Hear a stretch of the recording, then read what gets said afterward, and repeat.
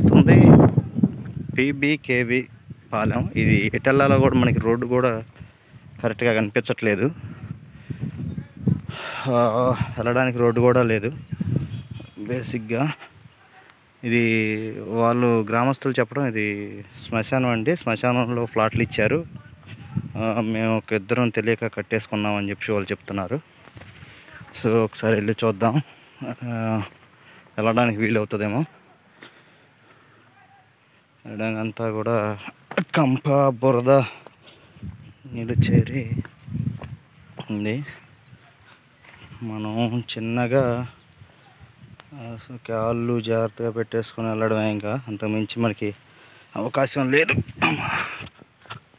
Okay ఇది ఇది శ్మశానం అని చెప్తున్నారు ఇక్కడ ఈ రెండు ఇల్లు తప్ప ఇక ఎవరు వాళ్ళు కట్టలేదు. ఎందుకంటే ఇది శ్మశానం అండి. శ్మశానంలో ఇచ్చారని చెప్పి వాళ్ళు నాకు నేను అక్కడ అడిగినప్పుడు చెప్పడం జరిగింది. ఈ ఇద్దరు కట్టారు. ఇక్కడ కూడా ఏదో బ్యాడ్ స్మెల్ వస్తూ ఉంది. ఎందుకంటే ఇది పీబీకే పాలెం అంటే అచ్చం దళితులు ఉండే ఏరియా. దళితులకి ఇక్కడికి ఇది వాగు మీరు చూస్తున్నదంతా అదంతా వాగు. ఆ, పరిసర ప్రాంతాలు కూడా నీళ్ళు వాగు అనమాట వాగు వాగులు అంటారు ఆ నీళ్ళు పోయే వాగులు అనమాట ఇక్కడ పురుగు పూసి ఎక్కడ వస్తుందో ఏంటో ఎంత చుట్టూ ఇక్కడ ఇచ్చారు ఇవి కూడా పూర్తిగా వాళ్ళు నిర్మాణ దశలో వదిలేసి వెళ్ళిపోయారు. ఇది పీవీకే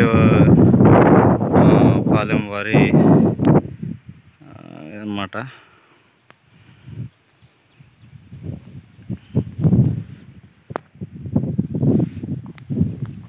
ఇది మీరు చూశారు కదా ఇక, ఇదనమాట పీపీకే పాలెం పీపీకేవి పాలెం చంద్రలపాడు మండలం. ఇక్కడ జగనన్న కాలనీలు ఇస్తే ఇది పరిస్థితి. జగనన్న కాలనీలో కంపతుప్పలు అదేవిధంగా ఈ ఇల్లు కానివ్వండి మనకు వచ్చే రోడ్డు కూడా లేదన్నా మీరు చూశారు. ఇది పరిస్థితి.